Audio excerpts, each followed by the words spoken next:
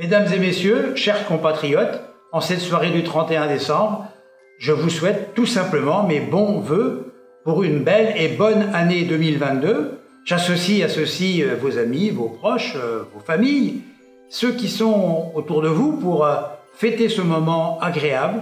N'oubliez pas qu'après la fête, il faut rentrer chez soi et donc merci de prendre toutes les précautions utiles pour pas que la fête soit endeuillée. Et puis surtout, nous vivons à cette époque de pandémie. Conservons de la distance, de la protection, des gestes barrières pour que là également, les lendemains de fête ne soient pas des moments qui déchantent. En cet instant, je pense particulièrement aux hospitalisés, aux personnes seules, aux personnes qui n'ont pas pu réunir leur famille et qui sont devant leur télévision et qui nous regardent. Eh bien, à celle-ci, je souhaite également une belle et une bonne année. Et puis, n'oublions pas que nous avons un peu nos anges gardiens, les hospitaliers, les sapeurs-pompiers, les gendarmes qui veillent sur notre sécurité pour nous permettre de connaître un, très beau passage de l'année 2021 à 2022. Profitons-en pour euh, les remercier euh, pour leur travail et pour leur engagement. De la même manière, il faut associer à ces remerciements l'ensemble des personnels qui contribuent à notre santé et à notre sécurité.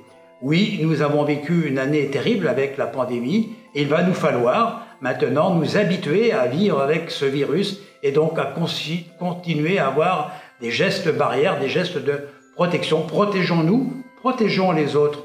Voilà le message que je souhaite faire passer. Mais 2021, ça n'a pas été que cela. Ça a été aussi de formidables réalisations. Je n'en citerai que deux.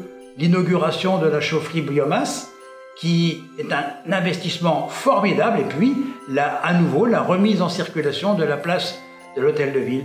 Et donc 2022 euh, sera une année au cours de laquelle les choses vont encore bouger à Vitry-François avec euh, la livraison du futur centre aquatique, divers travaux, et puis tout simplement au quotidien, ce que nous faisons pour protéger les enfants dans les écoles de la ville, de la communauté, ce que nous faisons pour euh, rendre notre territoire plus agréable, plus attractif, tout cela va continuer avec le même élan.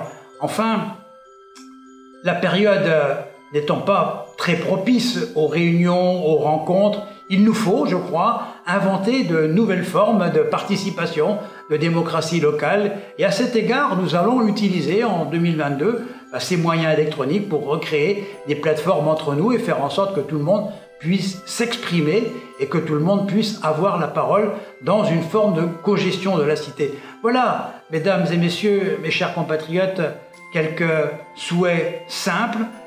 À nouveau, euh, je veux vous présenter mes voeux de bonne et heureuse année, une très bonne santé à toutes et tous. Vive Vitry-François, vive sa communauté de communes et vive la République.